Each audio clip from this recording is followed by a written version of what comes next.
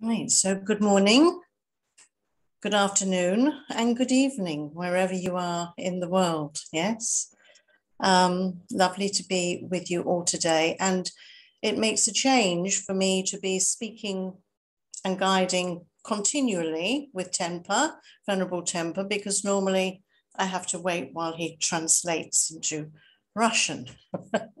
so I must remember not to wait.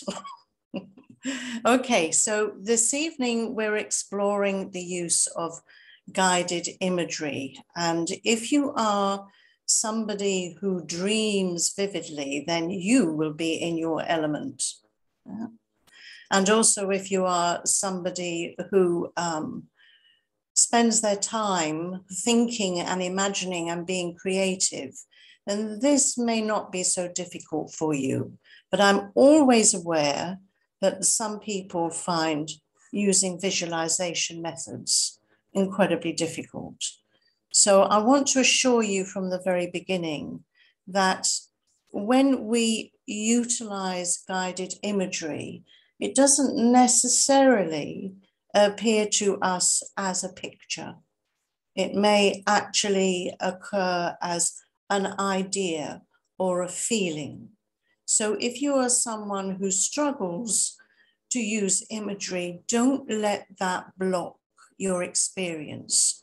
Just allow your ideas, allow your feelings to uh, arise. If you've done anything like this before, then you'll kind of know what I'm talking about. But if you haven't, don't worry. I'm going to take you really by the hand through this process. So first of all, just to give you the structure for the evening, first of all, I'm going to do a mindfulness meditation just to get us into our spaces, calm our minds down.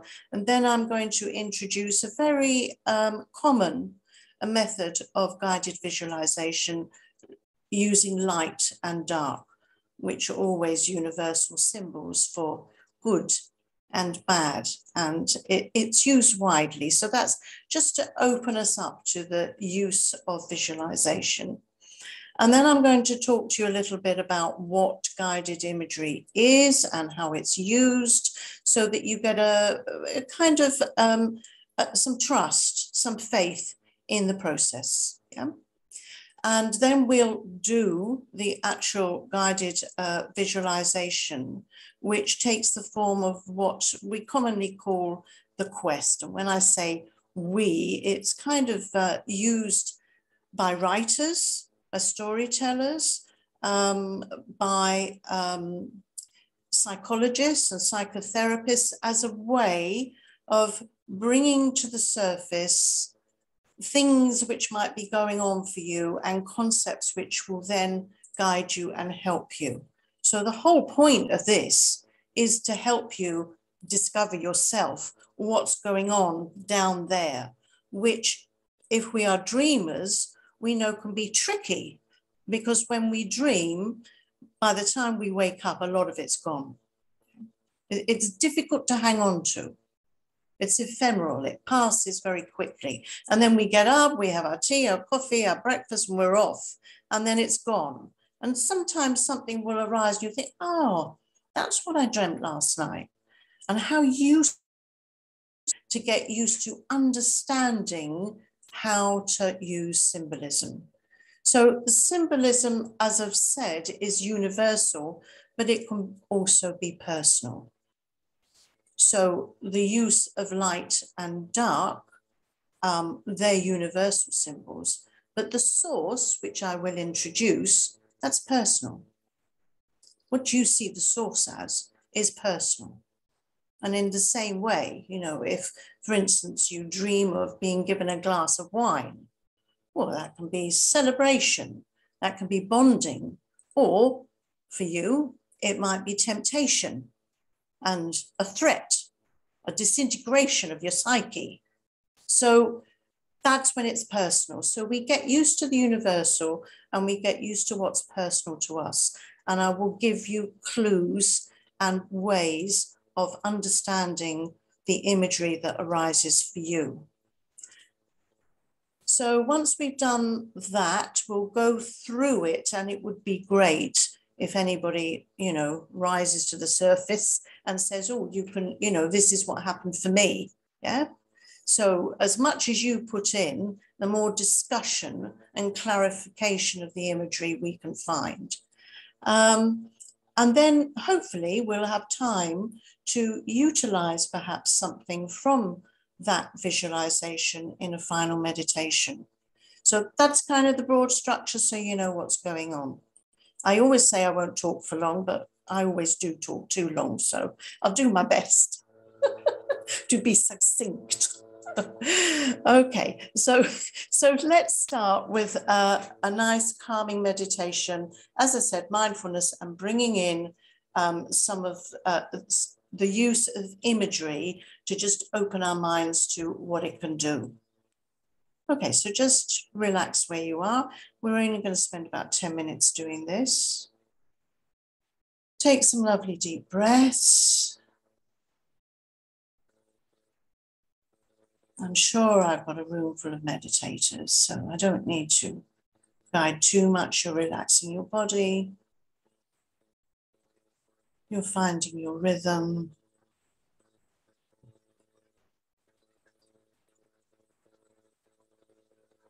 And you're fully entering your space, whatever room, place you're in, feel comfortable, safe.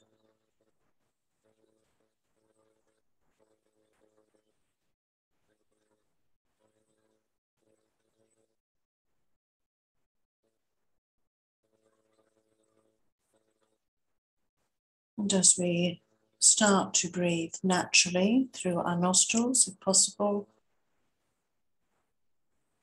When we breathe out, we let go of tension. So our body starts to find a natural posture.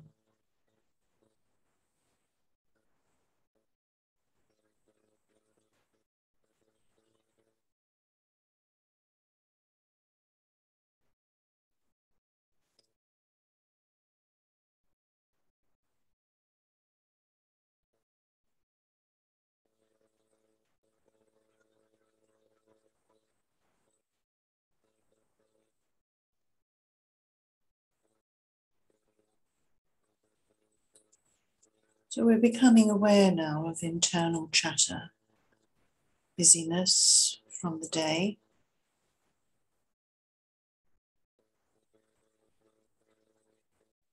Whatever time of day it is, we'll have been busy doing something. Or we'll have some worries or plans, anxieties. Just let them let them go.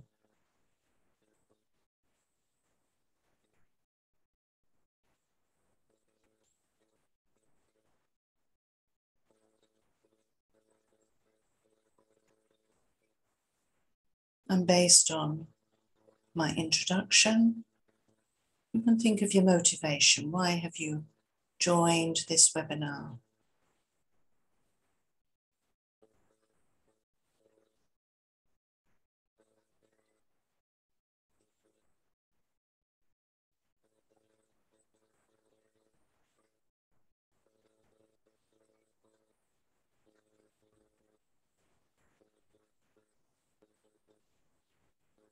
Follow the breath.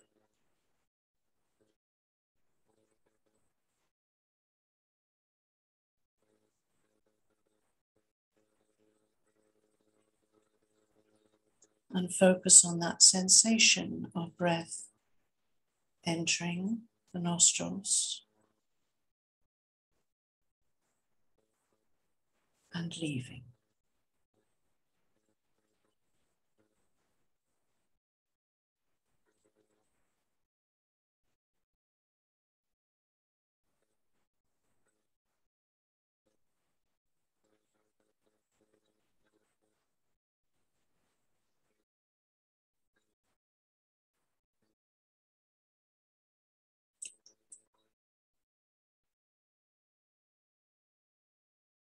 And just ahead of you, floating in space, level with your eyes, comfortable distance of a couple of meters, is the most beautiful source of translucent light.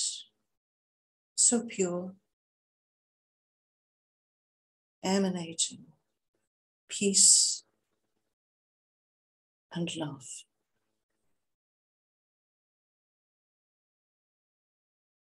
Just sit in its presence.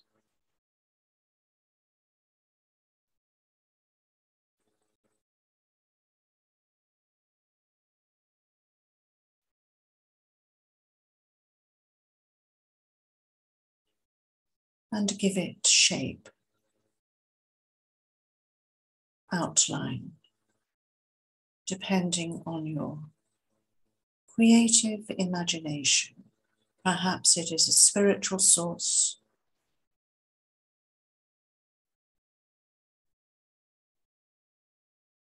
A symbol of goodness in the world, in the universe.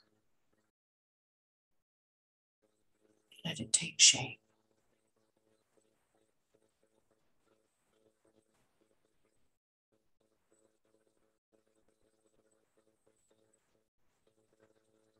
It's so incredibly beautiful. You feel humbled before it and want to partake of this essence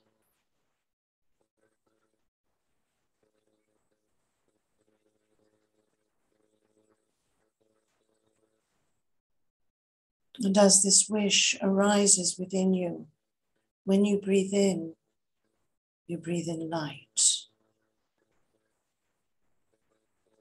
The light flows towards you, up each nostril, into your head cavity, and down, right into the soles of your feet, and starts to fill you and glow. And as you breathe out, all your tensions, your stresses, your worries, your problems, anything that is upsetting you niggling you, just leaves in the form of dark smoke out of your nostrils, disappearing into the depths of the earth to harm no one and nothing.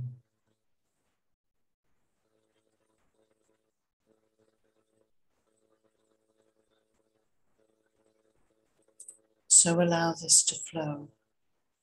The source of light does not diminish, it's infinite.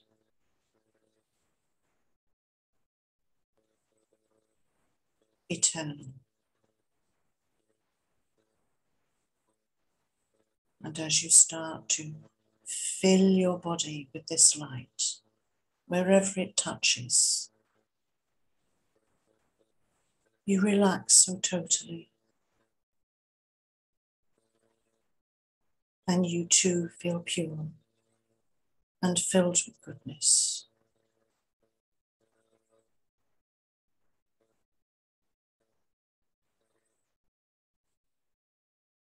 And all the scum that clings to you inside, the knotty physical aspects of pain and sorrow.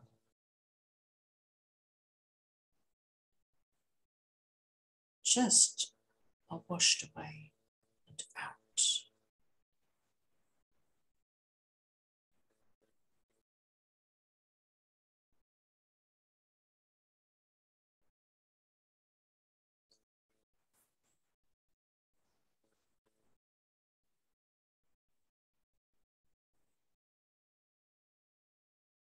You're like an empty milk jug being filled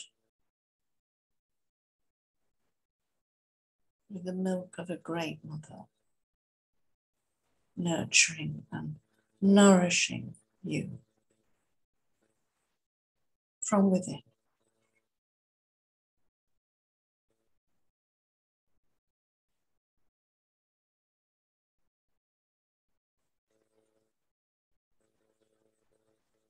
It's filling you up You right into your torso now. The smoke's being forced up, is flooding out as you allow this light to enter you, soak you.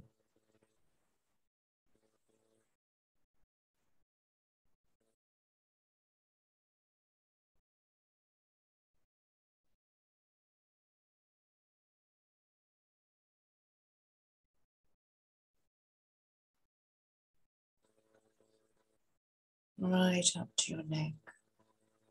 As you breathe out now, there's just wisps of smoke. The source of light is there, still giving, and you're receiving.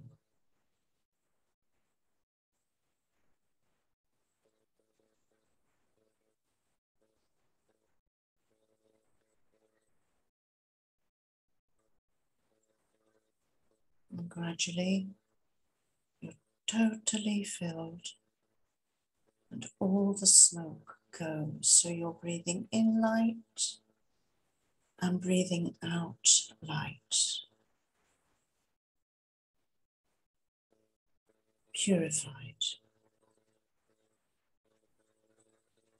full of love.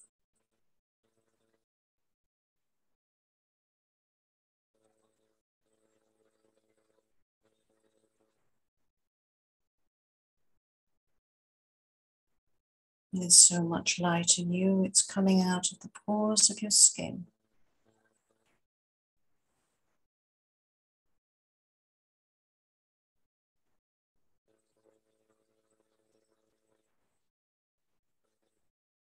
There's just you, full of light and the source.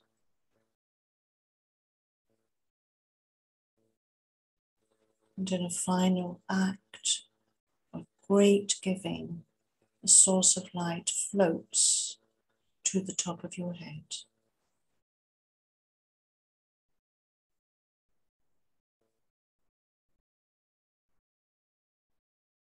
And rains down on you this incredible gift of light.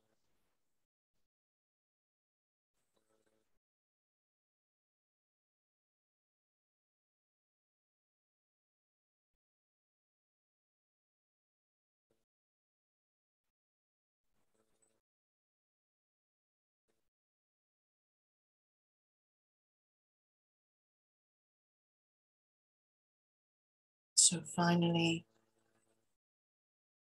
let that light come through your crown chakra down to your heart chakra, center of your chest, and become one with you, one with your mind.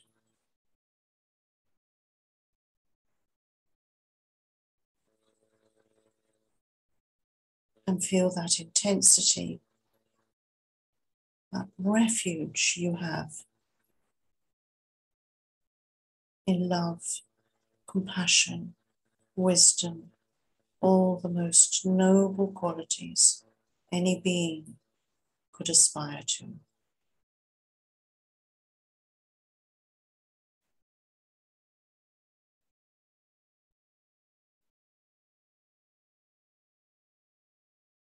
And dissolve the visualization gradually from the pores of your skin inward to your heart, and then dissolve that too.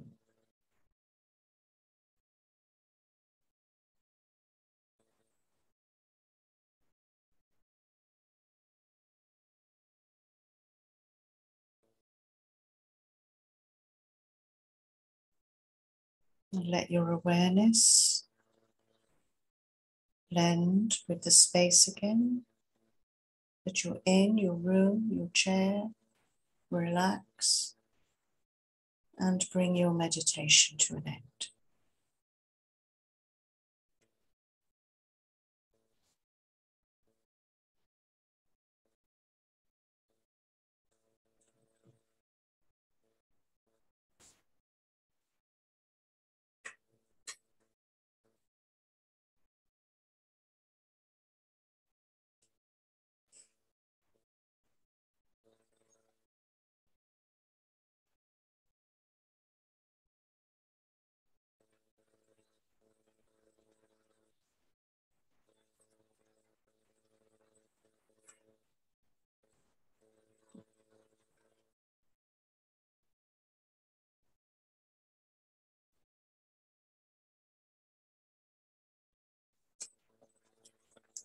So, this webinar,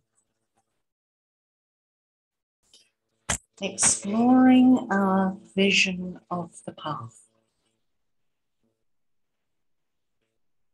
which is about our path now. So, let's get that clear. It's a long path to enlightenment, yes? So, where are we now? Well, we have we have our practices, which are um, hopefully on a daily basis, which guide us in our life and the incredible psychology that's available to us now. And especially, I'm thinking with the roots of Buddhist psychology, because that's my background. Um, but we also have to deal with daily issues, even if we are a monk or a nun, but especially here, as many of us are, most of us are lay people there are so many things that we have to deal with, and our minds become so busy. So, being able to occasionally, rather than letting, using mindfulness to let ideas go and thoughts, to actually use imagery which perhaps we might feel more of a relationship with, enables us to explore what's going on with us right now.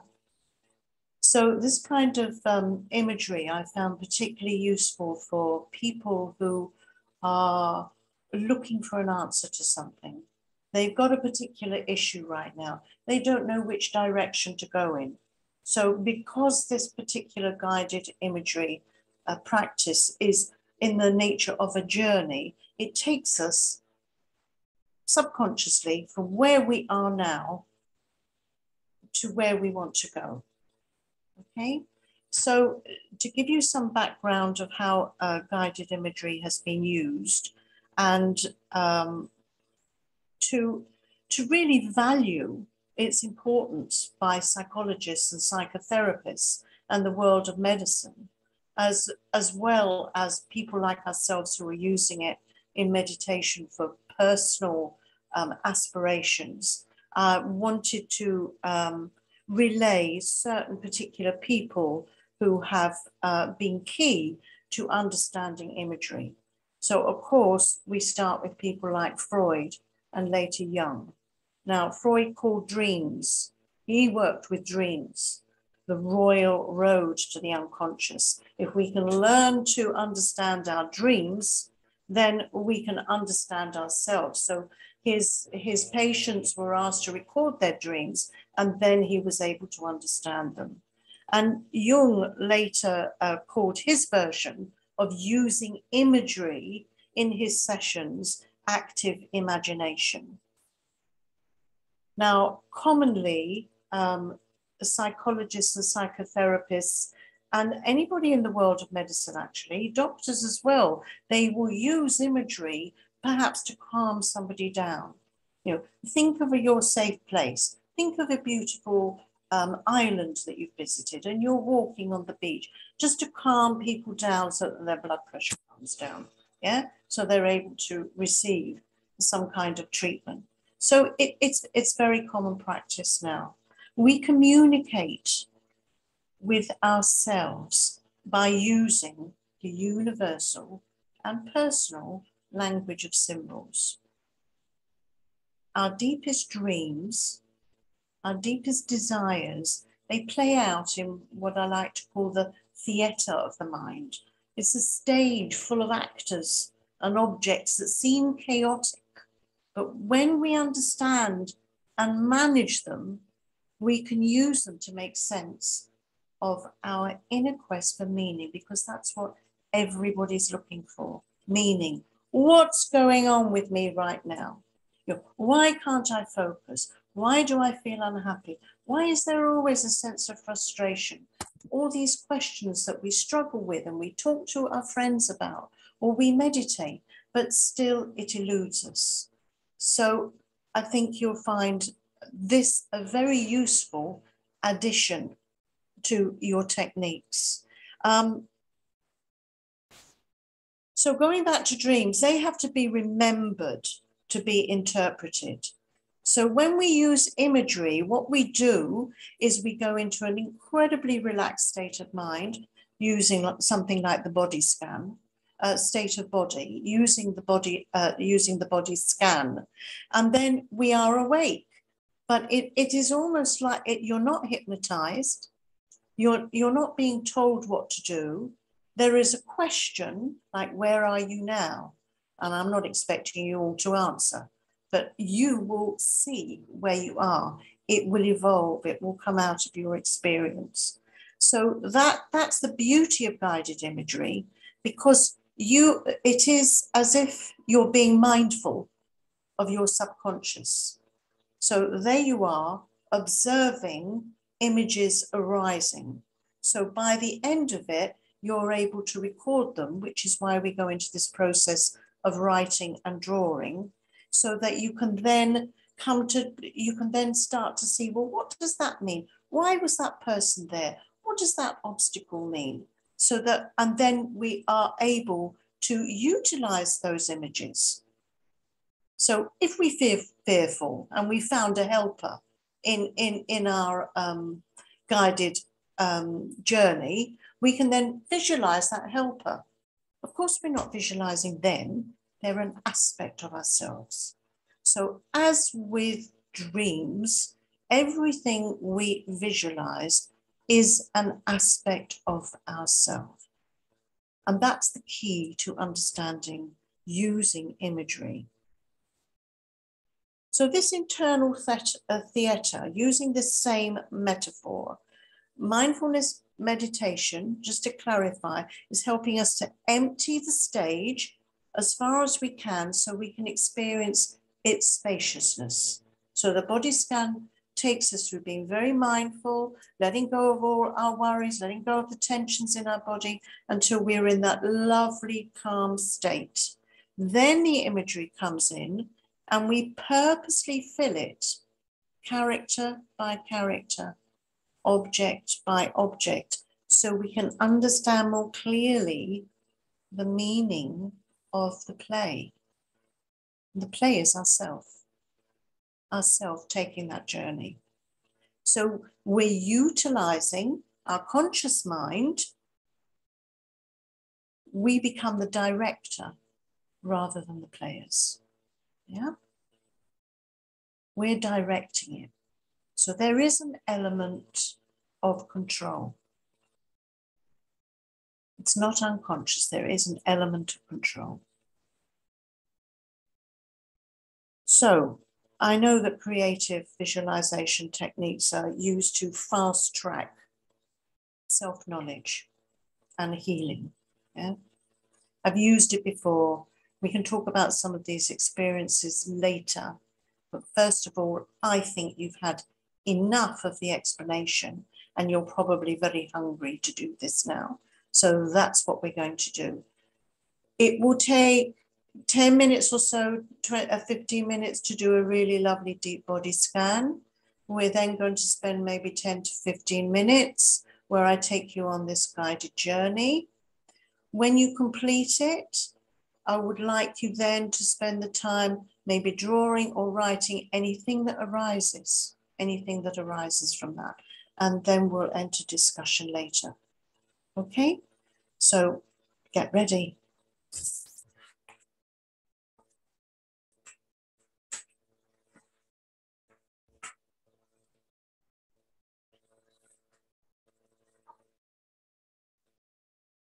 Okay, so if you can, it's wonderful to do this in supine position, just lie down. Of course, I'm always conscious that when I do this, some people get so relaxed they fall asleep. So it depends what time of day it is for you, and you know your state of mind. What we don't want is you drifting off into sleep, from the body scan, and missing the whole experience. So maybe you need to, at some point, just let in a little light into your eyes, not gazing at anything in particular, just uh, unfocused light. So take care with that. If you're sitting up, you really need to be as relaxed as possible. Okay, So, as before, just start with the breath.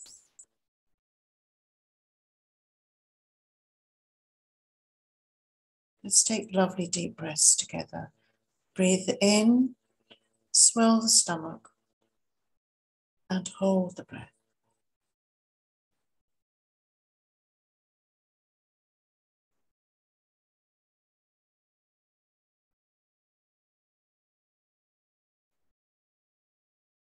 Blow out softly through the lips, allowing the stomach to distend, taking it right back to the backbone before you, another, you take another deep breath in and hold.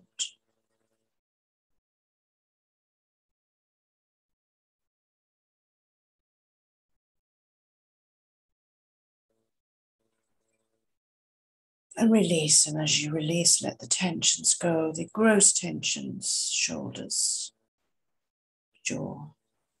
Just let them go.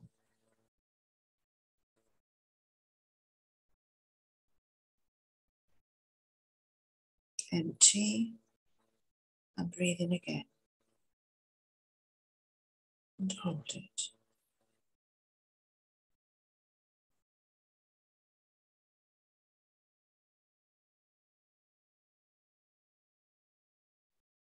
and release.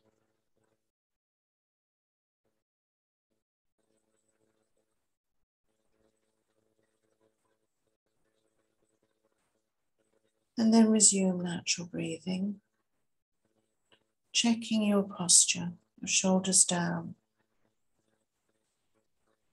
your necks supporting your head so that the neck straight and the chin slightly dipped. If you're lying down, you can put your hands behind your back and push your bottom down so you have the full length of the spine and take them out again. Uncrossed ankles, hands by your side, not on your belly, just comfortable. And hopefully your temperature is comfortable, not too warm, but not cold. And you're just breathing. And we're going to start with the feet. First of all, the surrounds of the feet, perhaps where the heels are touching the floor, air circulating.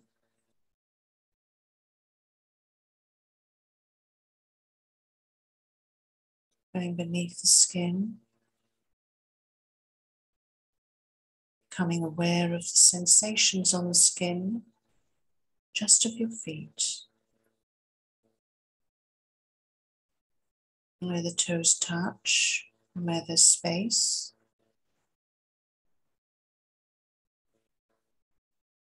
Awareness of the skeletal structure in your feet, awareness of blood and flesh.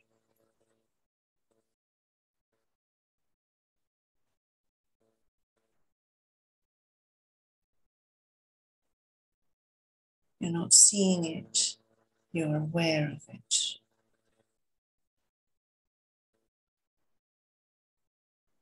Any tension you find in the feet, release it. If you like, as smoke through the soles of the feet down into the depths of the earth.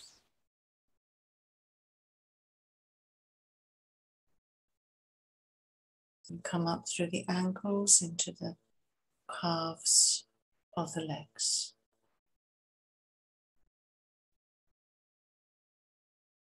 What is touching them? Just the feel, perhaps clothing, perhaps blanket.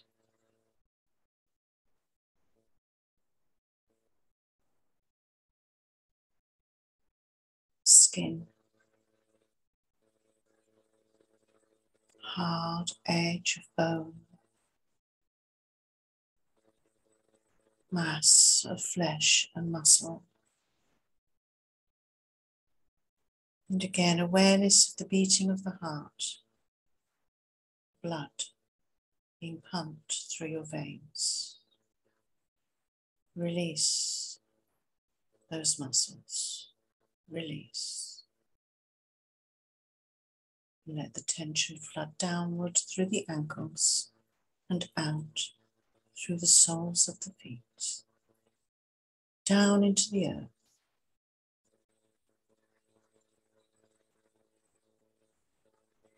And come into the knees.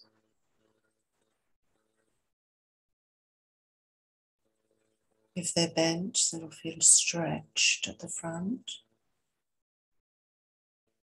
and folded the back. Skin, and those complex sensations of the joint, the knee joint, cartilage and tissue to the depths of your knees, releasing, releasing. Any pain, discomfort. Don't give anything labels, but just release, let go, down and out. And into the thighs.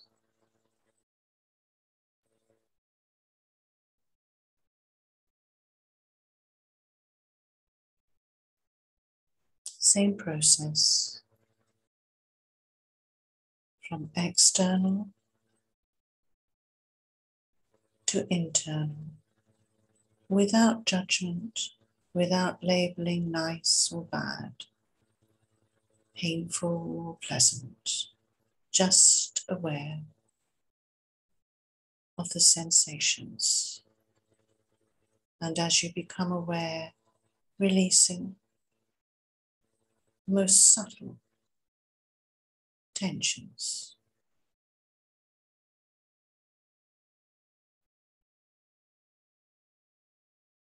Your breath like sighs of relief as you breathe in and out naturally, allowing the tensions in your thighs down traveling down and out.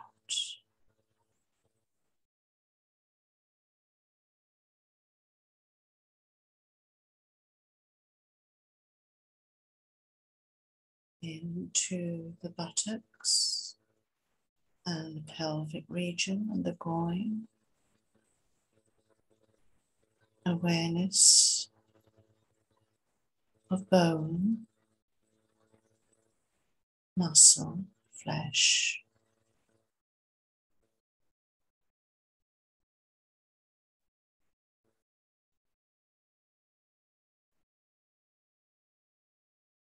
Awareness of warmth and folds. Awareness of breath falling and rising in the tummy.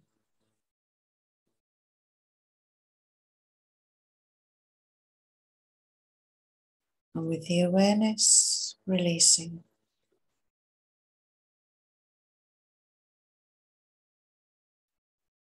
Releasing.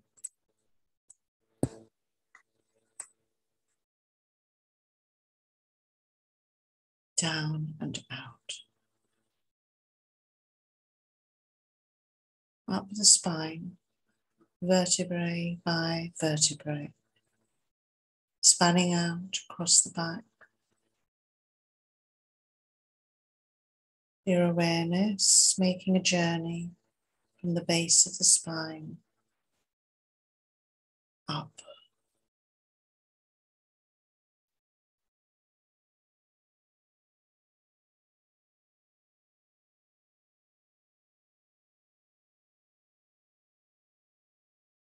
And across the shoulders, the shoulder blades. We hold a lot of tension in the back. So take your breath in and send it there to unknot the knots. And then breathe out the tension in the upper part of your body. And you can feel as you breathe your rib cage expanding, allowing deeper breaths, more luxurious breaths. And release as you breathe out.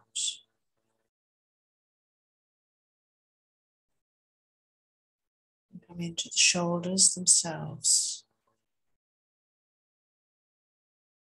Again, sources of intense tension as we carry the world and our emotional baggage round with us. Let it go. Put it down.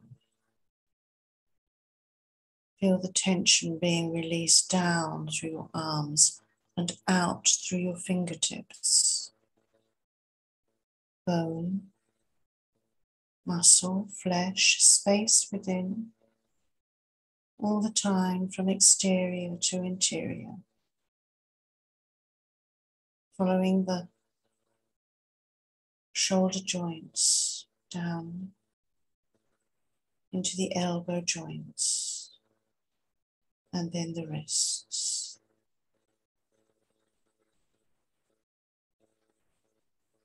Feeling where your arms are close to your body and where there's space.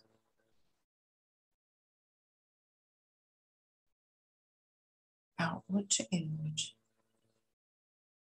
and into the hands, the complex nerve endings in your fingertips. Soften them, loosen the hands and let all that tension that started in your shoulders be released out through the fingertips, gone. Lovely deep breaths as you go into your tummy now and become aware of your waistband, of the breathing in and out the depths of your stomach, the presence of your organs.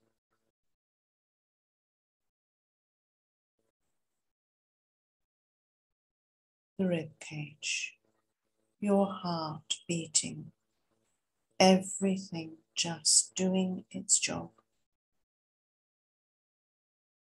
Now your breath becomes more and more relaxed. Breathe out that tension.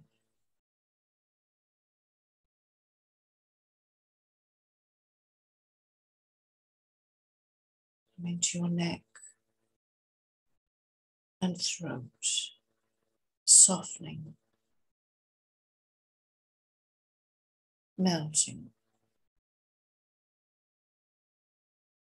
Breathe it out. And into your head, glancing through the skull and resting on your face. The feel of air on your face.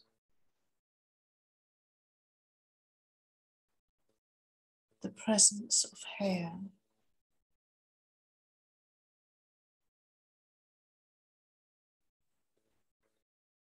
The dry places, the moist places the orifices, the bulges that make your incredible, unique face.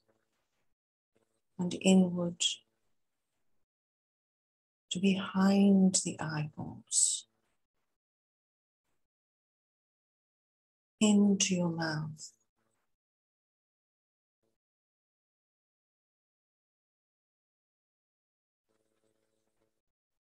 Softening the eyes in their sockets and the cheekbones, and breathing out, letting go of the last vestige tension and stress in your body.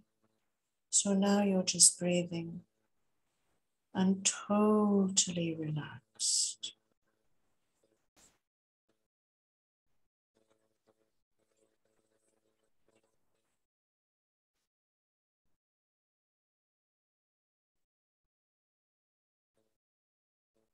and visualize yourself. Let the images arise. Don't push them, provoke them, just see what comes. And even if you think these images are uncomfortable, let them come. See yourself in the most beautiful garden. It's a sensory delight. What time of day is it? What is the weather like?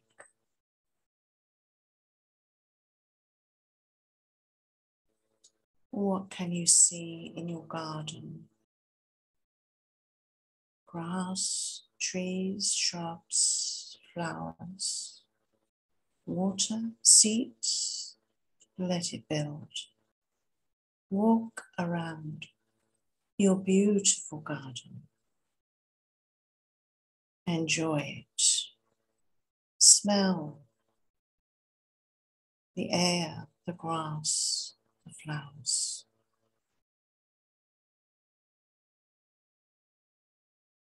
Hear the sounds of the garden.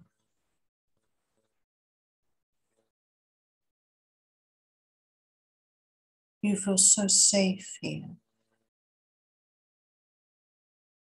and happy.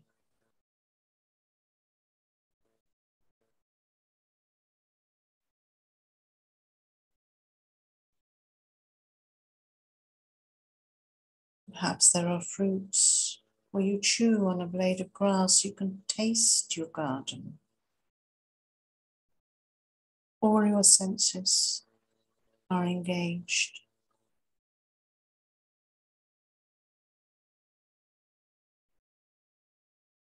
And then you look out beyond the garden, and in the distance, you can see a mountain, and you are transfixed. You want to climb that mountain, it's calling you. And so you leave it how do you leave it? And what landscape are you walking through?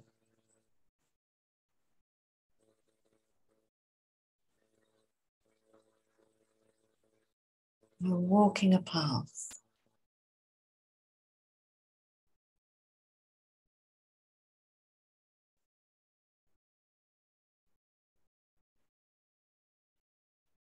And up ahead, there's something in the path, some kind of obstacle. What is it?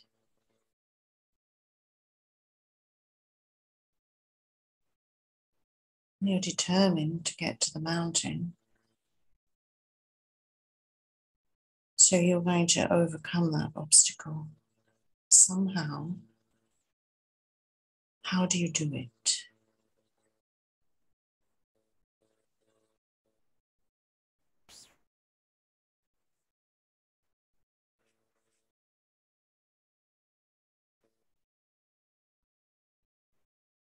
And there you are, back on the path.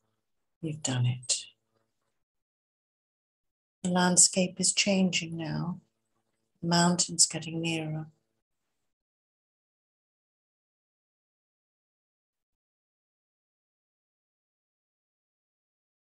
And you notice along to the side of you, there's something going on, something interesting Maybe it's people or a village or a fete or a fair or something that you want to be involved with.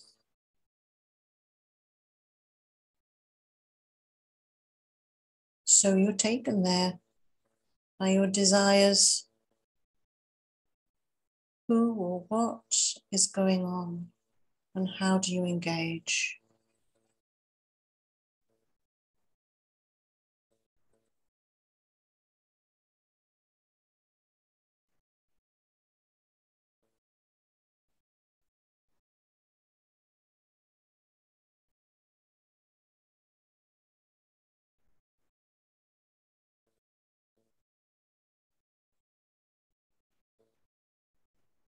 And then you remember your mountain. You have to leave. Is it easy to leave or difficult? Does anyone or anything try to stop you before you disengage and return to the path?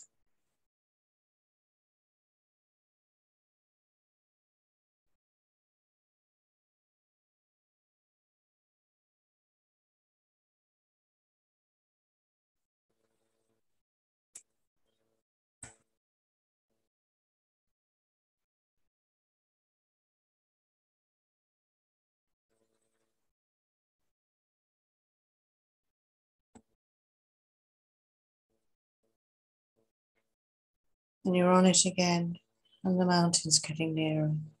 In fact, you're getting close to the base of the mountain, the foot of the mountain. Look at the landscape. How do you feel as you look up? And then, just at the foot of the mountain, someone appears to help you. Who is it?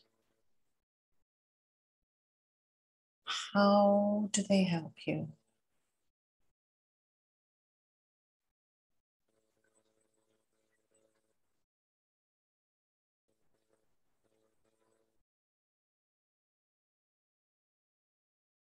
You're going to ascend alone, so you have to leave them. And you start your walk up the mountain. At first, you can walk. What kind of base is it? Is it scrubland? Is it gorse? Is it rough rock? Are there streams?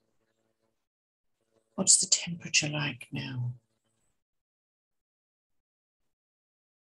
And you're walking upwards, and gradually it becomes more demanding, and your breathing is affected. You keep going. You can see the top of the mountain, just up there. Maybe you stop for breathers and to look back, or to continue to look upward, but just breathing. Maybe something that was given to you as help is useful. And you continue to climb, and now you have to use your hands occasionally to grasp onto rocks and to haul yourself up but you're getting close. There is a ledge. If you can just reach up and get hold of the top of the ledge, and just as you do, someone reaches down to give you a hand and helps pull you to the top of the mountain. And you are so happy to see them. Who are they? What are they wearing?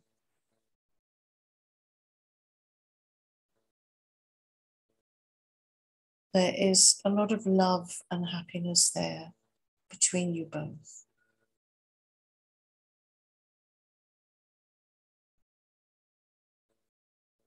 And then the being or the person gives you a gift. And you hold it in your hands and you know that this gift is going to help you. Help you in your life, help you now. What is it? Let it emerge in your hands, the weight of it, the color, shape, the value.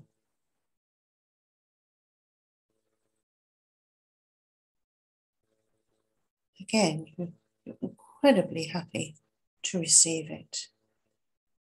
And you have some interaction together at the top of the mountain.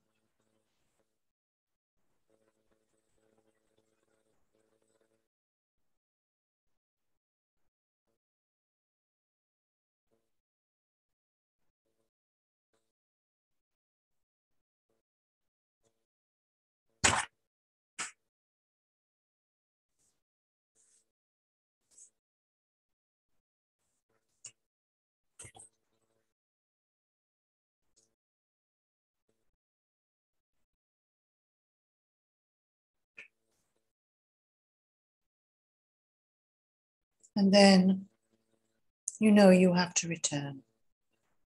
You have to depart. So you say your farewells. You look back towards your garden, which now is calling you back.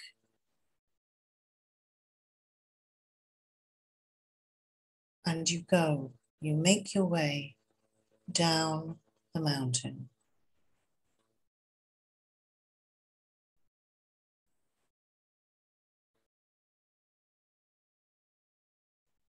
And here we dissolve all the imagery into your heart.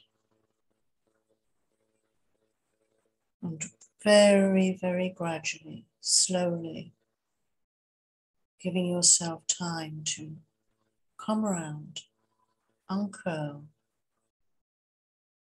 You end the meditation.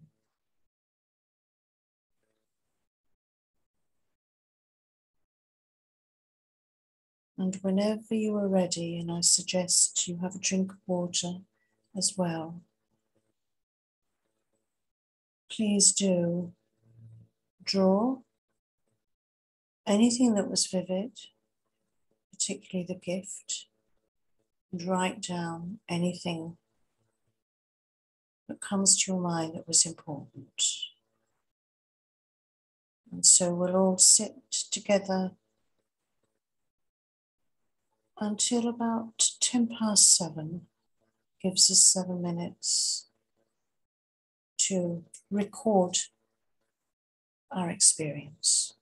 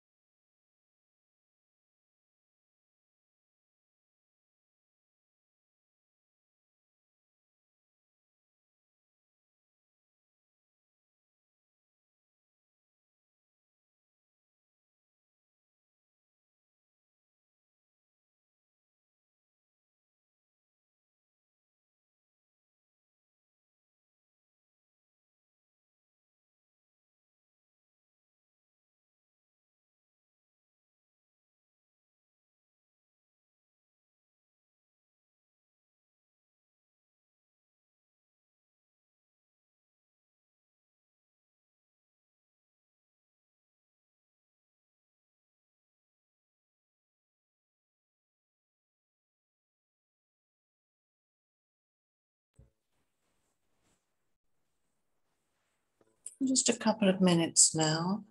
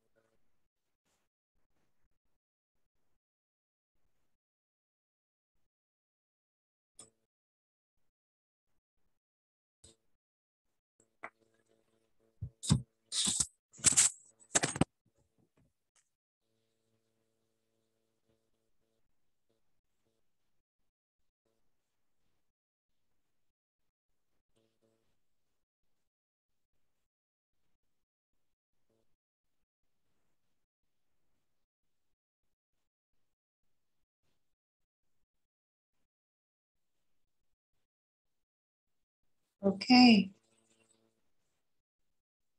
So you can uh, still continue scribbling away if you want. I'm just going to outline the symbolism within that. So as I mentioned before in the introduction, this is known as a quest. So you start from this wonderful safe place, your refuge, your haven, and you go out mentally and emotionally on this on this journey uh, to discover an answer or something that can help you. So um, you can see this actually in uh, the stories of religious figures. In this, you are the hero or heroine, but if you think of any of the great spiritual teachers like Jesus or Muhammad or the Buddha you can see that they themselves start in a place and they meet obstacles, they meet distractions, there are helpers, and there is um, a higher self or some being or someone or that they actualize within themselves. Yeah. If you think of these stories, Lord of the, it's also fictionalized. It's often used in stories, Lord of the Rings being um, an obvious one. So you are, in this, you are the hero or heroine. Yeah? And you are on your quest. And your quest can be one, as I said before, for now or for a future self. But we're constantly rebirthing ourselves, aren't we? Each little time, each time we have in life, and then there's another step along the way. So this is really useful for those particular steps. So the journey is life, yeah? So where is life taking you now? And the, the obstacle that I mentioned in your path is something that is blocking you. Now that obstacle could be people, could be even loved ones. I did this with, I started doing this as a school teacher terrible, you know, using my poor students as guinea pigs. They loved it.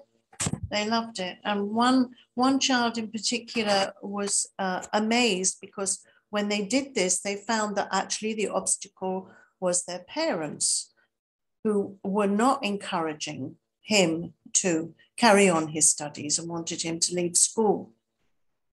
And he was really shocked because he knows his parent, he loves his parents and his parents love him, but they were standing in his way which did not mean that he was then going to divorce his parents, but it was just an inner realization that he had he had to deal with that situation in his life. So it, it could be an emotion. Maybe we are hanging on to guilt or fear, or we have um, some jealousy going on from an experience in our life, whatever it is, it's an obstacle to our development because we're attaching ourselves to that emotion and it's standing in our way from freeing ourselves to move forward. So that's always interesting to understand the symbolism of that obstacle. Uh, if it's water, for instance, is it turbulent water? Is it calm water? Do you, do you nearly drown getting across? Or do you just trip over it? You know, how, how easy is it to deal with? Um, water, you know, being um, a symbol for emotions, for troubled emotions, if it's very turbulent. Okay, so that's just one example. And then I had that little thing going on. You know, was that a pleasant thing? Uh, was it a distraction rather than anything unpleasant? What was it? You know, I mentioned before being offered a glass of wine. You know that that and, and that being something that could be lovely. You know, celebration. Have a drink with me. You know, or it could be something that symbolizes um, a major distraction in the form of alcohol and drugs, or maybe not alcohol at all, but something uh, to do with being held back by people, a, a peer peer group pressure, people who are pulling you into their way of life. Yeah, so it could be something like that. Uh, they're opposing forces, distractions. Now, when you get to the bottom of the mountain, you meet a helper, and that's always lovely. And often, often it will be somebody that you know. You know, it might be your mom, your dad, they might have passed on. But what you want to do when you think of that person, and this is a good ex- this is a good way of understanding all symbolism, is if whoever that person is, it's not them that you're visualizing, they're an aspect of yourself. So if you think of, you know, if you think of your mum, well, she, just say the first three or four words until you get that sensation in your body of, ah, that's what it means. Oh, well, she was very strong. She was very stubborn, but she'd do anything to help me. She really loved me. And she and she shared my uh, sense of um, adventure. Yeah? Just say those words until it hits you. That's what she represents to you. Yeah? That's a way of understanding symbolism. It's not, it's really not difficult once you get the hang of it. So there's your helper, and then you go up the mountain. Well, mountains are always symbolic of going to a higher place. And you go to the higher place to meet your higher self. So you will be aware um, if you've studied any religion, particularly Buddhism, that we're constantly talking about battling with the ego and, and finding our higher self or our Buddha nature. Yeah? So there you go. There's your higher self. Epitomizes your journey towards actualizing yourself. This is who you wish to become. It's your potential. This person or being is your potential. And in any situation where you need guidance or advice, if you visualize this being or person and ask the question, you will receive an answer that is more reliable from other people or from your ego chatter. You just visualize them. Yeah. I know Christians have this thing around their wrist, don't they? What would Jesus do? Yeah. They carry it around with them. Some some of them, I, I've heard about this, and, and it's a bit like that. Well, you know, what should I do? Don't ask your mates. They're as screwed up as you are. Ask your higher self. okay. Ask your higher self. They're much more reliable. Um, you know you better than anybody else. You've just got to unearth that higher self. Okay. And then you get the treasure, you get the rings. or, or Muhammad got the angel Gabriel and received the Quran. Yeah. The Buddha became enlightened. You get the gift. So what, what does the gift? That, that gift is really important to you now. And uh, I've, you know, I've heard about all kinds of gifts. I've done this so many times. And it's just really lovely that, you know, lots of children meet Gandalf at the top of the mountain. They literally do, you know, with the hood and everything, and this fantastic kind of wise being, which is lovely. Uh, I had one girl, and she was very troubled, and she was behaving badly, and she met her dead grandmother at the top of the mountain. And when, when I asked her about the qualities of her dead grandmother, she said, She loved me for who I am. Yeah. Isn't that moving? And it really helped her. And so we talked about it, and her teachers understood the use of it. These are enlightened teachers. They don't always let you into the school to do this kind of thing, but uh, how effective. And it really helped her. So she was able to, instead of dismissing or having to forget because your grandma's dead, it was she's still alive in you. She's your role model. She's your potential. Let her guide you. And you didn't have to say to her, it's your higher self, you know. Just say, well, it's your grandma. Yeah. But it was a higher self, is what she wanted to be and she wanted to be accepted and loved. So I've had some. Uh, uh, I've I've also had people. Um, one woman whose husband died of cancer very very quickly, and she was unable to say anything to him, and she used to wake up from nightmares quite regularly where she couldn't get to him. She just couldn't get to him. So she did this, and of course she met him at the top of the mountain and then she was able to say what she wanted and say goodbye. And she stopped having nightmares. It's very, it can be very powerful, very powerful. Yeah, I could tell you some stories. That's just a few. But, uh, and it's not always powerful. It's not always powerful. But whatever we've got going on in our life, if it's quite crucial, we can certainly find an answer. So that's the treasure, what it is you are seeking in life at the moment. Remember impermanence, this is for now. Yeah? And it, uh, the symbols might repeat themselves or they might change. Yeah? So um, that is what you're looking at and what you're looking for in your own particular experience. And it would be fab if anybody was an example that they'd like to share with me and the rest of the group that we could use to um, unravel what's going on and how to use symbolism. Is there anyone or even a part of it? Not questions and answers as such yet, just sticking to the actual quest experience. Temper.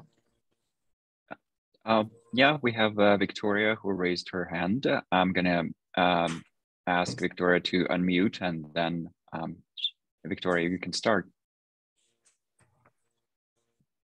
Thank you. lines all over me. Can I'm just going to move because I've got this uh, distraction going on. Maybe if it's that way. It's too much sunshine. I'm not used to it in the north of England. Okay, we'll have to put up with it. You're more important. Let's go. Victoria, can I help you? Um, well, I raised my hand um, because I don't have a clue. So hang on. I'm a, where, where is Victoria? Oh, there you are. There's another Victoria. Okay, oh, I've got another one. I've got too. you, Victoria. Go on then. Okay. Thank you. Yeah, I I was intrepid enough to raise my hand because um, I've always had trouble with with um, with like guided visualizing meditations and um, but I sense in you a um, the potential to start unpacking things. So I raised my hand just because I'd love to um, I'd love to learn more about how how the, how this works and how to make it effective. Okay, so how did you find the experience? Well, I enjoyed it. Um, I I let myself go into it um, because because you talked about drawing as as um, the way of processing it. I didn't draw because I'm very I'm an art historian, so I'm very self conscious about things like that. But but I I wrote down my experience, and um, it was very beautiful. It was like kind of like a children's story storybook. It was kind of it like the Secret Garden. Um, yeah, maybe maybe listening to your beautiful um, English accent, it made me it made me think of the Secret Garden, and so this very verdant um, garden with lots of colors and smell. I mean, the guy your guidance was very vivid, and so it was it came alive much more than any guided meditation I've done before with other teachers. So it was it was wonderful, but I have no clue what what's behind all of it. well, the garden is your safe place. It's your refuge. And, and, and again, it's an aspect of you. Within us all, we have all the refuge we need. Yeah, we just need to awaken it. You know, with with with uh, with, and I don't know how much of you are involved with Buddhism, but certainly with Buddhist practice, um, we use the idea of refuge so that we feel so that we develop self-esteem and confidence in ourselves yeah? So mm-hmm. your garden can be visualized whenever you're scared yeah? Or whenever you're a bit kind of oh am i doing the right thing? You know where, or it, uh, oh i'm not very good at this then the garden if you just close your eyes and visualize the garden then you will experience a sense of no, where I am is just perfect for me. Yeah, yeah. And for you, it sounded perfect. I like the idea of the secret garden because that kind of sums up what you're saying, which is that, oh, I'm not sure I understand any of this. Well, it's still a secret. it's, it's still a secret for you. I mean, you know, symbolism can be literal. And, and you're not you're an art historian, so you know that the description of art or, you know, matches the painting.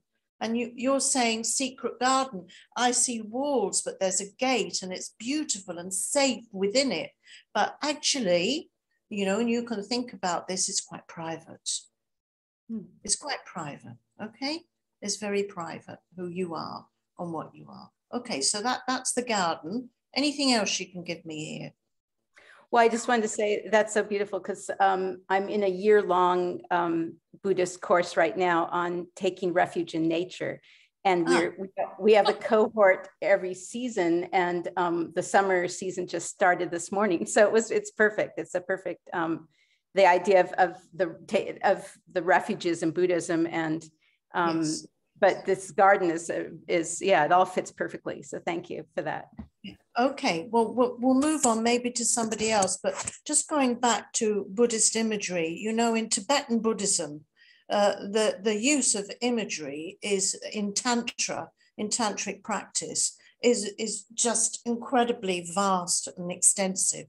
So we, as um, if you are a Tantric practitioner, or even if you are not, you will look at these incredibly intense and complex images of different Buddhas, not just one, you know, you're not just talking Jesus, you know, you're talking the Buddha of compassion, the Buddha of wisdom. There's a wrathful one, there's a peaceful one, there's an active one, there's a, um, a placid one. And then they've got all these other Buddhas going on. And then all this imagery there's swords, there's cups, there's flowers, there's sacred, all kinds of stuff going on. Yeah and they can be too much for people. But anybody who practices the art of Tibetan Buddhist iconography or really practices um, a deity as their deity, what they're doing is they're not kind of sitting there going, Oh, you're so lovely. Oh, you're so powerful. What they're doing is they're actualizing by continually, regularly in their life, visualizing the qualities of that painting so they become the Buddha. Yeah? Mm. They're, they're not doing it as an act of external homage. They're using it so that this, by understanding the symbolism, either by painting it or by uh, visualizing it when, when you do your meditation practice of becoming that Buddha with those qualities. And it is the power of the Guru that gives you a particular deity. Or you need compassion, or you need wisdom, or you, you, need wrathful energy, or you need, uh, and that, that's the spiritual link with the Guru.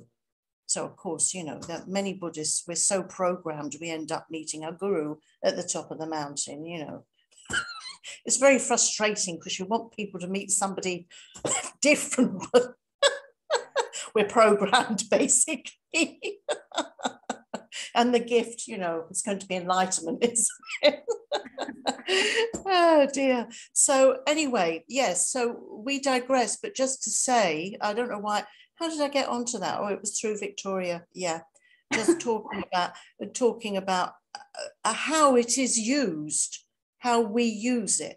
So when you're taking refuge, you know, and and if you visualize the garden, I mean, you may have a particular spiritual teacher, and your spiritual teacher is in the garden. Then that don't lose your sense of your own self-esteem. It's really important in Buddhist practice to, to remember that it is your potential, your power that you're actualizing.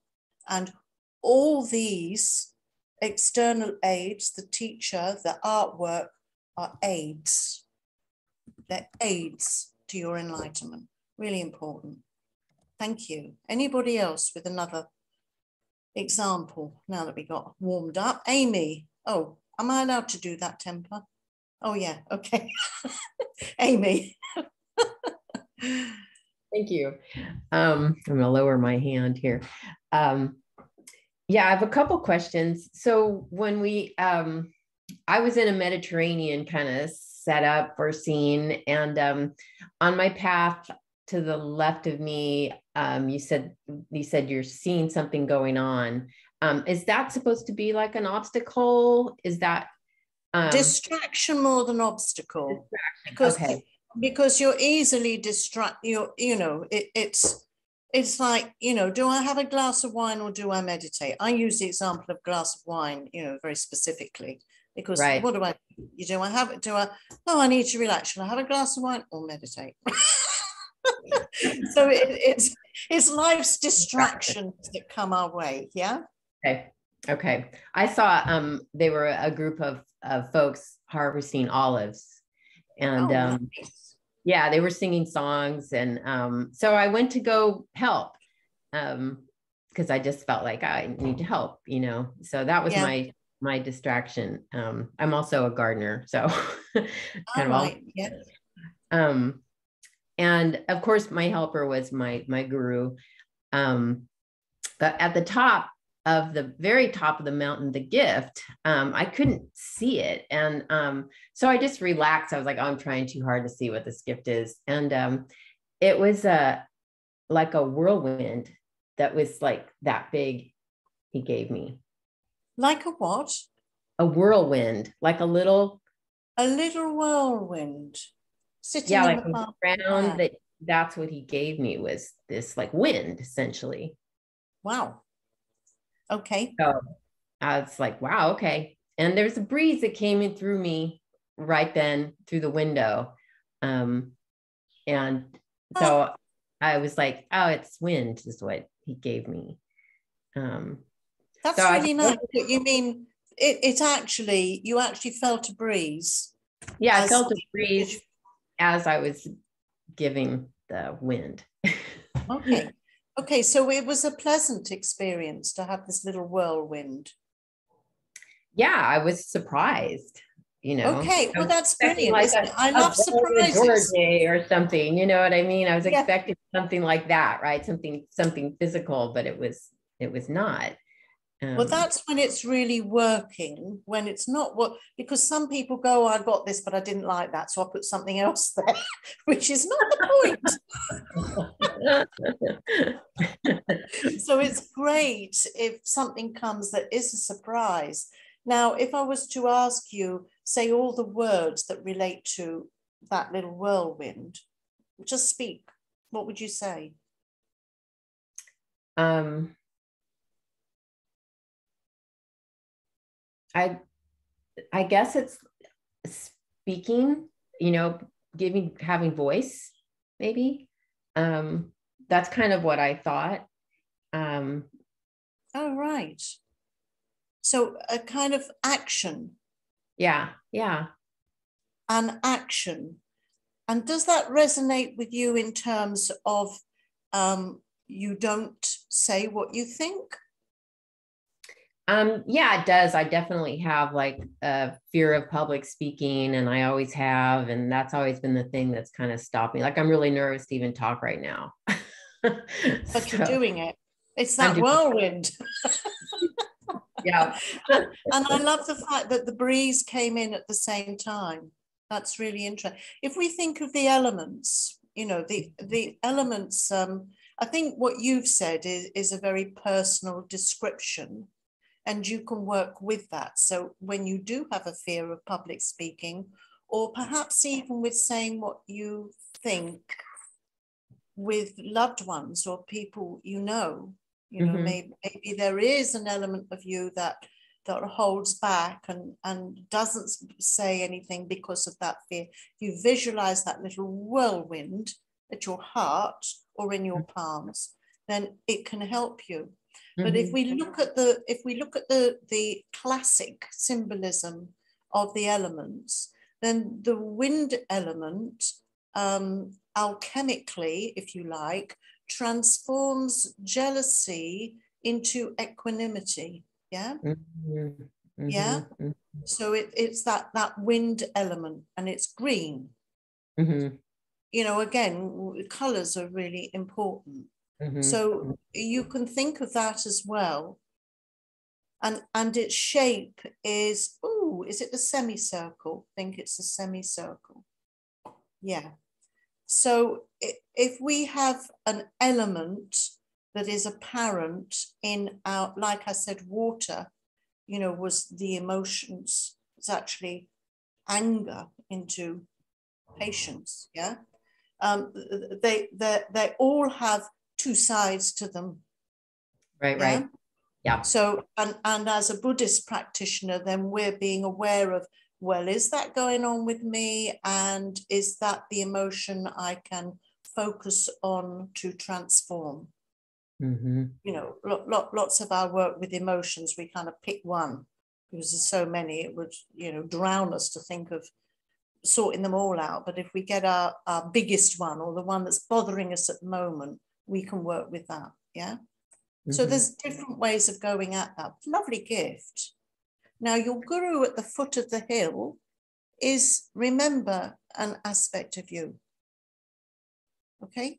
Right. Uh, yeah. Always got to remember this. Yes, that guru is a real person, but they are at the foot of the hill. Didn't meet you at the top. Who met you at the top? Oh, he did meet me at the top. He met me at the foot and the top. oh, he's there at the beginning and the end. yeah. Did he walk up with you? Or did he just fly up there and then you met him up no, there? He, he flew up there. He didn't walk with me. I went by myself. Yeah. Okay, okay, fantastic. Thank you very much. Was that useful? Yeah. Yes. Okay. Thank, Thank you. you. Thank you. How are we doing for time? We've got a little bit more time. I'd like to do a 10 minute meditation at 10 to 8. So Temper stop me um, utilizing the gift. Uh, but we've got time for somebody else with something interesting. No? Oh, Victoria. Yes, okay. Can you hear me? Hi, Victoria. Yes, can do. Yes, hi. So uh, I found interesting that um, so when I went uh, walking towards the mountain and then this destruction, so I I climb. I have the mountain already there and the climb. So I think the subconscious is already decorating my room almost. okay. okay. Super funny. And then I saw this guy. Uh, I got like these persons climbing solo and they were like just going up the mountain without ropes. They're like, this is the path. And I thought, okay. so I have to do what they do. I said, like, I I cannot climb so I'm going to kill myself here. But I thought this is the path. Uh, I'm going to the mountain directly. I wanted to climb anyway. This is the kind of people that have a level of mind that things seems to be like uh, unlimited or something like that. And then you said, okay, this was a distraction. Come back. I was like, okay, I have to leave now, but this was the path. But then I kind of okay, leave it aside. Said, okay, I don't have those powers at the moment, so I just leave. And then I went into the mountain and I found another place and I still climbed the mountain. So I went climbing, but it was like a very easy climb. And yeah, I found interesting that at the end, uh, I met uh, God, like a very caricature of God, like yes. almost like with the bird, like with the angels. Beard, like, white yeah, beard. You know? Brilliant. exactly. I was like, like the most caricature God. And then he gave me like a box, and in the box it was like a staff this uh, that kings and wizards use. Oh yes, like yes. This thing, and then I had that, and then I flew, flew back, and when flying back, I could pass again where the solo climbers were. I could just climb with them because now I had the powers just for fun. So then the mountain was just kind of a easy a hobby or like a passion, yeah. yeah and then yeah. I, I could go back. So I find oh. interesting that, yeah, how so, to connect from the beginning as yeah.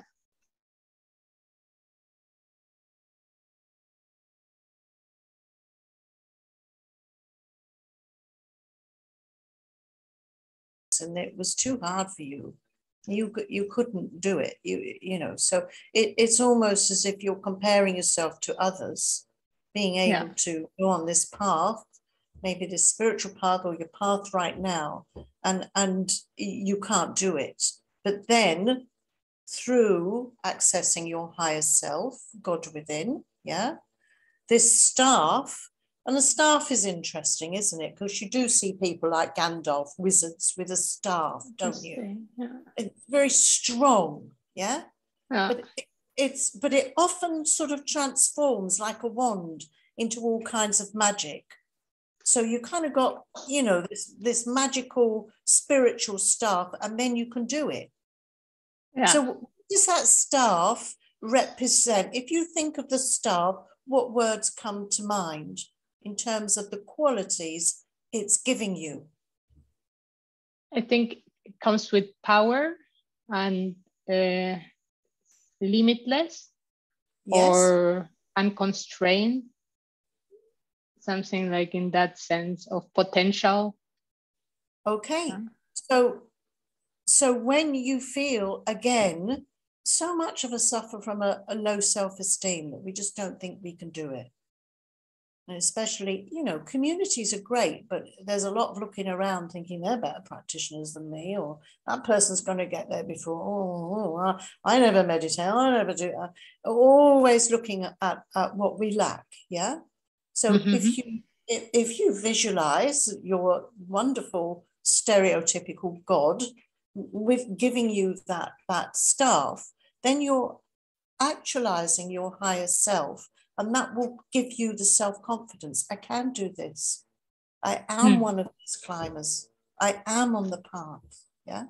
It's like an yeah. affirmation that you're using through through recognizing that that image is important because of what it represents to you. Yeah. Hmm. That that staff. Okay. Yeah.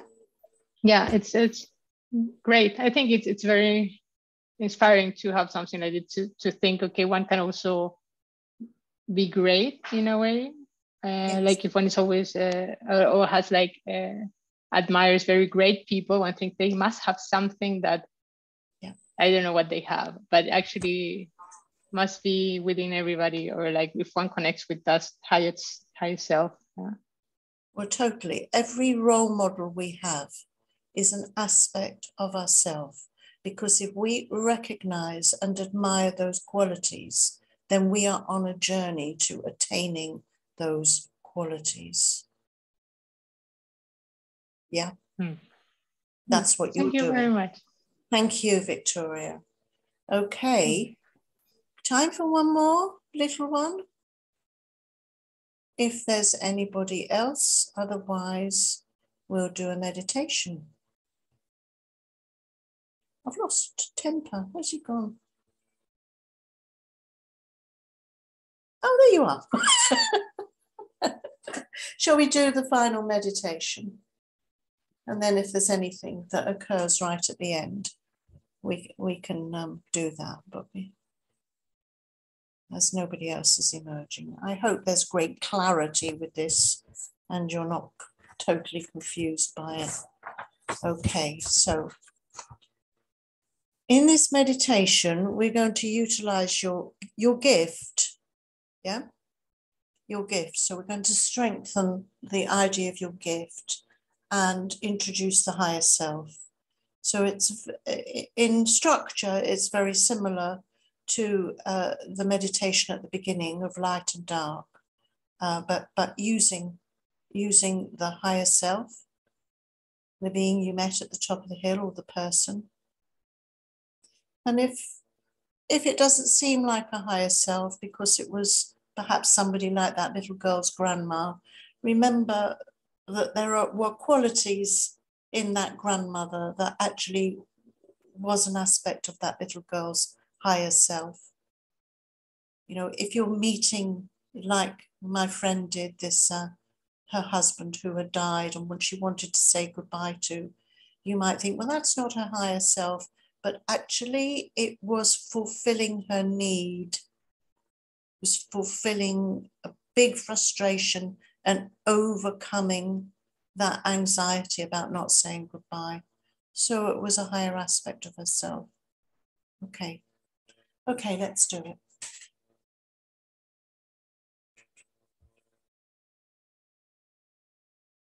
Excuse me.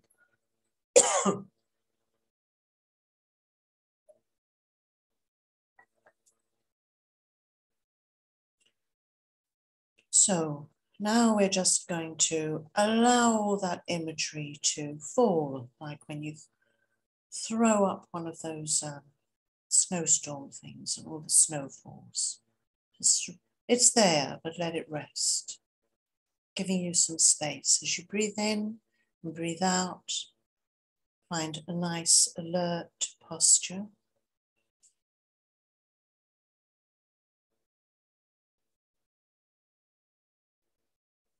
And feel fulfilled that you've engaged in an activity that can help you in your life. Understand yourself. Self knowledge is everything. The person who seeks self knowledge is truly mature. And that's you here today, seeking self knowledge.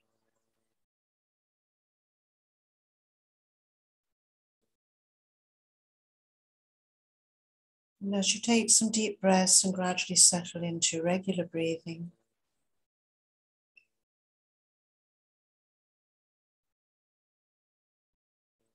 let that sense of happiness and fulfillment relax your body.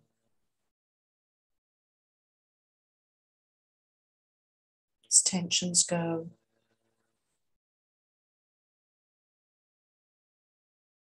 Again, we're abandoning thoughts.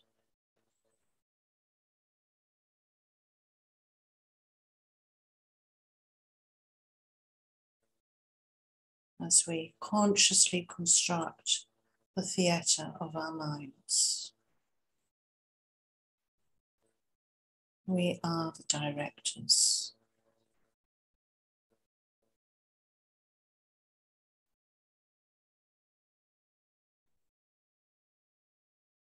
And onto that stage, we're going to put that being or person we met at the top of the mountain.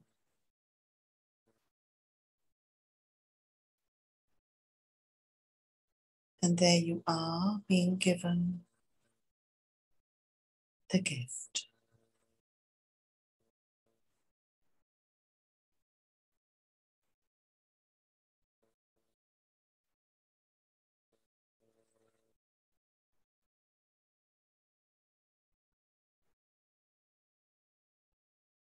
And then just move off stage with the gift and leave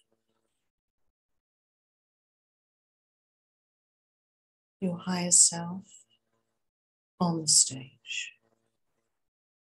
And as you stand in the wings, just consider their qualities.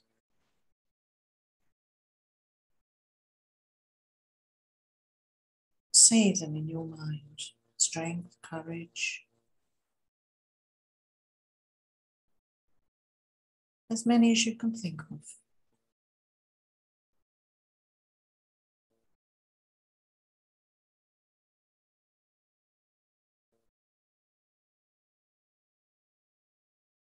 and be very aware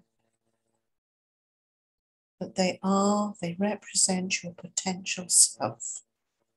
This is what you admire. This is what you wish to be.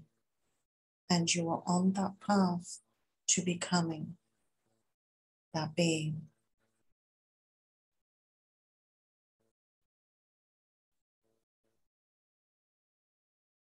now you're going to move on to stage with the gift as that being goes off into the wings and leave the gift center stage and move back and observe. This is what you need on your path right now. On your path to becoming your actualized potential. This is what you need. What does it represent?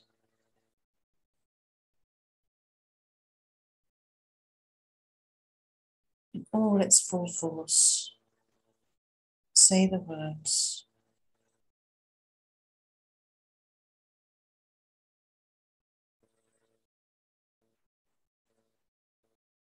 And there's your present day focus. Maybe it represents courage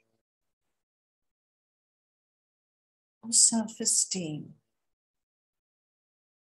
or to recognize the power within you and nurture that power.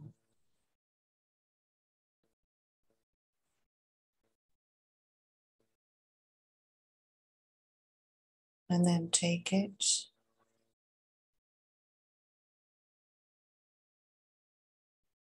And move off stage, leaving the spaciousness where anything can take place.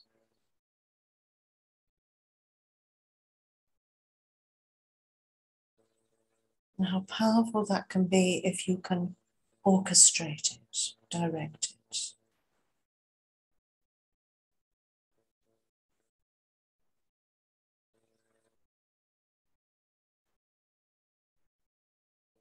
dissolve all imagery into your heart and end the meditation.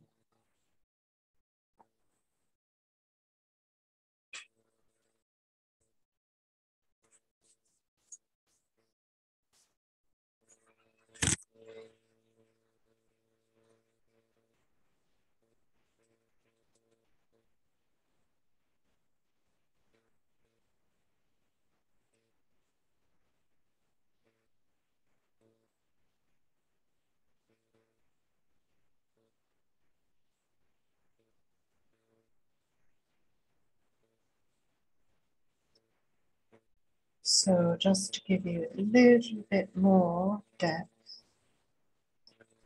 you may get emotional as you get in touch with deeper feelings and just remember that this isn't being put into you. I'm providing a, a structure, scaffolding, and you're filling it in. It's coming from you. And you're revealing feelings about whatever is important to express for you now. So don't be afraid of them. Uh, as I said, the garden is your safe place. There may be things in it that make you feel safe in particular that you can visualize. Quite simple things. A pot of lavender, a bay tree, a water feature. when you bring them to mind, if you're in a state of confusion or upset, you can act as a calming, um, fortifying object. The state of the road symbolizes how you feel about your path right now. And that's a very nice path, Mediterranean, or otherwise. But yours, you might be sitting there thinking, oh my God, my, it was a nightmare. There were rocks everywhere. So that's just now. Yeah. And it, it may be that you feel uh, that it needs moving and that your path is it the right path? And if there is anybody that's sitting there with anything which is really uncomfortable, I don't know how to do this, but Temple can maybe help me with this. I'm very happy to take an email and help you out. I don't want this to have brought stuff up that you can't deal with. So uh, very happy to do that. Um, the trials and obstacles symbolize things in your life that need to be overcome. They need to be overcome. Um, visualization may help you see a way to overcome or the problem, or may just help you identify what the problem is. that's you know, that's the biggest thing. Um, helpers usually help you identify the people or attitudes or qualities that can take you forward. So the gurus are wonderful example that, know, the person, Victoria, who came up with that. Okay, so just bringing these subconscious thoughts to the surface will help your self development. You've done it now. You know, there they are. They're in your life and you can think about them. It's fascinating. Um, remember that everything and everyone is an aspect of yourself, even if they're real people in your lives.